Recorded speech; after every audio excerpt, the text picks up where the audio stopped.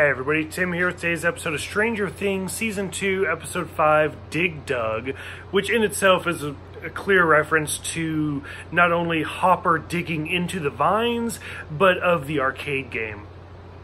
Overall, this was a fantastic episode. Like, this was probably the best episode of Season 2 so far where from the very beginning we see like Will and Mike talking about like Will has been possessed and he knows he has been, but Mike kind of convinced him that, oh, if he's using you to spy on us, maybe you can spy on him, and he becomes like the super spy we see some more of Hopper in the tunnels, and then the the the hole that Hopper had dug into starts to close behind him, and it's super creepy, but it's really well done.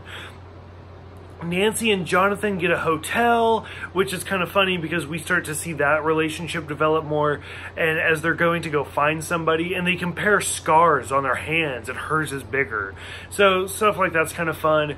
Um, I loved the scene where uh, who was it? Lucas was talking to his dad about like, what do you do when you and mom have a fight? And his mom's like, yeah, what do you do?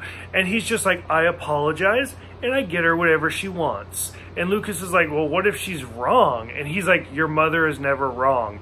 As somebody who's been married for eight years, I relate to that on a spiritual level. So that's all I'm going to say is like, I completely know where he's coming from.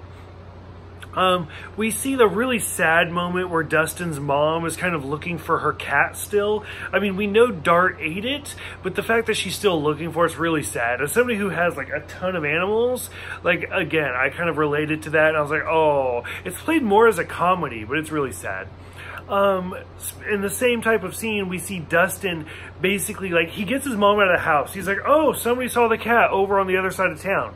So she goes to look for it, and he like lures Dart out of the house and into the basement, and he like traps him in the basement. He closes the door, so we kind of know some more stuff's going to happen with that. Um, Eleven goes home to meet her mom, which it's, it's just a real quick scene, but it kind of develops as it goes on. Uh, Nancy and Jonathan meet like this weird conspiracy theorist Murray, which I have no idea where this character came from. Like I don't know if I just missed a quick line or what, but she they just show up at his house and he's like telling him to look at the cameras and all sorts. I was like, where did this guy come from? Like I have no idea how they even got his address or what. Um, Lucas and Max, Lucas tells Max all of the stuff that had happened last year. He basically like fills her in, and of course she doesn't believe any of it. So she's just like, "Well, well, thanks for trying to get me interested, but you're a jerk," and she tries to leave.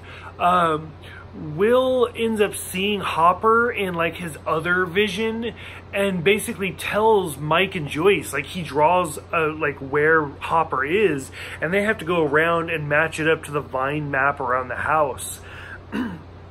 Which I love because then Bob comes over and he's trying to like talk and then he Joyce is like not right now Bob. And he leaves and he's like well they don't call me Bob the brain for anything. And she's like wait a minute. And so she brings him in and kind of fills him in on stuff which is kind of an interesting scene because I feel like this is the first moment that I've noticed at least where Mike and Will are standing next to each other and Will is so much shorter than Mike. Like he's evidently a late bloomer or something but that kind of stood out to me for whatever reason. And Joyce is like, here's what we need to find on this map. It's a game. Find where this X is. And he's like, well, what's the X? Is that hidden pirate treasure? Which is clearly a shout out to the Goonies where Sean Astin was in. Um, and they, Bob is the one who kind of realizes like, he, he sees Lover's Lane and he's like, wait a minute, I know that shape. And he realizes all of these landmarks and that it's it's a map, but it's not really it's not a map with roads. It's just kind of a map and it like avoids water and some other stuff. And so now he can start to make a map around it basically converting it.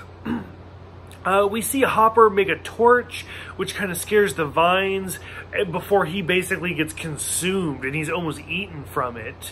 Uh, Dustin, after he captures Dart, is just like, we need a code red, we need a code red evidently for hours on the walkie before Erica, Lucas's sister, is like, "You need a code. Shut up," and hangs up on him. So Dustin once again is kind of that outcast because we see Will and Mike together, and we see Lucas and Max together, and El is kind of by herself, and now Lucas is kind of by himself.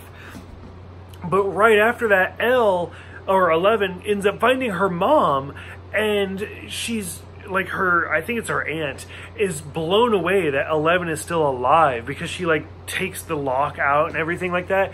And they realize like there's lights flickering everywhere. And she's like oh it's just bad wiring. And Eleven's like no it's not because we've seen this before where somebody on the upside down kind of like lights flicker whenever they're they move around and that it's actually her mom trying to get in contact with her and her mom even starts getting that nosebleed so it's a really intense scene it's really well done Bob, using ratios and stuff, does find the X, and so they go to find it, and it's kind of a great scene where Bob is like, "What's happening? Like, why is this like actually real?"